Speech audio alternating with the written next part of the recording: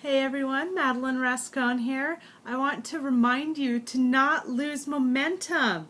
Uh, there's a great picture that I absolutely love. I think I'll put it at the end of this video so you can see what I'm talking about.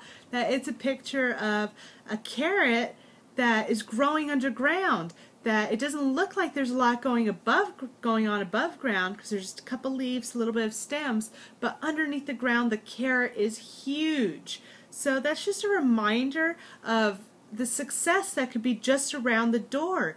If you have momentum and you feel like, oh, nothing's happening, keep it up, keep it up, don't give up, because that carrot can erupt out of the ground at any moment and you'll have a mass amount of success. So keep the momentum and your success will literally happen overnight. I've seen it happen so many times. It happened to me. If you just maintain that momentum and keep it going, something is going to seemingly happen overnight. You're going to start getting that boom of customers, that that flow of information, that flow of leads, that flow of people going to your website. Just keep the momentum. Don't lose it. Ride the wave of success.